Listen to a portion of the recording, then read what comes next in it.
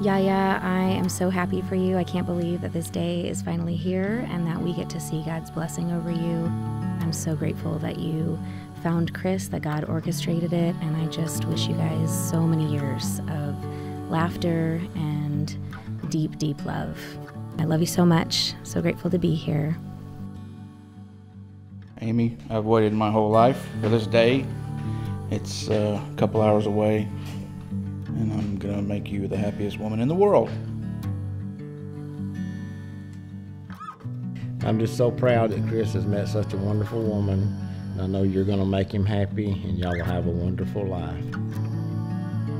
Welcome, family and friends, to this very special day, not only for Amy and Chris, but for all of us as we witness the blessing of this marriage. Let's all pray. Heavenly Father, thank you for this joyous day. Thank you for your light that has entered Amy and Chris's life. Thank you for all the miracles and blessings, Lord. Let the radiant light of their love shine on all those around them. We ask that you bless this union. May all their future plans be blessed. May they be blessed with patience and see them through times of tension and conflict. May they be blessed with kindness to enable them to nurture and care for one another in times of pain and sorrow. May they be blessed with a spirit of play and joyfulness that they may participate fully in the beauties and pleasures of your creation. May they be blessed with the inner gifts of trust, compassion, forgiveness, and truth, that they may live and grow together in love and peace. May they be blessed finally with the knowledge of your ever flowing presence of love in their lives, that they may be ambassadors of this love to one another and to all whom they meet in their life's journey. In Jesus' name, amen. You can all be seated. Now, I asked each of you to give me three attributes that you loved about each other. Amy told me that Chris is incredibly loving, with a sensitive heart and his integrity is stronger than most. Chris told me that what he admired was Amy's kindness and compassion for others, but it's the way she looks at him that sealed the deal. Mm. Do you, Christopher David Ashmore, take Amy Marie Baker to be your wedded wife and to live together in the covenant of marriage? Will you love and respect her, comfort her, honor and keep her in sickness and in health, forsaking all others, to be faithful to her as long as you both shall live? I do. Do you, Amy Marie Baker, take Christopher David Ashmore to be your wedded husband and to live together in the covenant of marriage? Will you love and respect him, comfort him, honor and keep him in sickness and in health, forsaking all others, to be faithful to him as long as you both shall live? I do. To honor our love before God. To honor our love before God. With this ring with this ring, I thee wed. I thee wed. To honor our love before God. To honor our love before God. With this ring. With this ring. I thee wed. I thee wed. By the power of Almighty God, I now pronounce you husband and wife.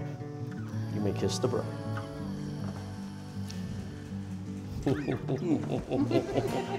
but it is now my honor to introduce to you all Mr. and Mrs. Chris Ashmore. Hey, baby, I'm so excited. We just got married. We did it. And I'm so happy to call you my husband. I love you so much. Shine like the stars. Take a breath where you stand.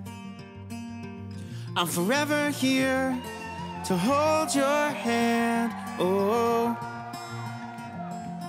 This woman has waited with a rare patience on God's perfect timing and plan for her life.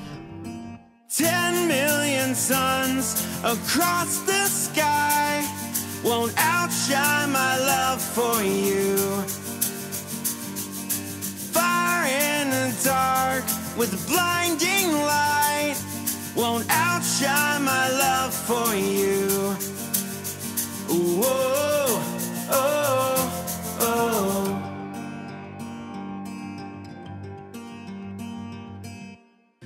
Every hour, every day, every step along the way, whatever storms may arise, I'm forever here, right by your side. Oh. I think they're going to be a wonderful couple. And he's very sweet and kind and loving, and I know he'll be a sweet, kind, and loving husband. Ten million suns across the sky won't outshine my love for you. In the dark with blinding light won't outshine my love for you. Whoa, oh, oh, oh. We're just so happy that Chris has found Amy. You can tell they are tremendously in love. He loves her with all his heart.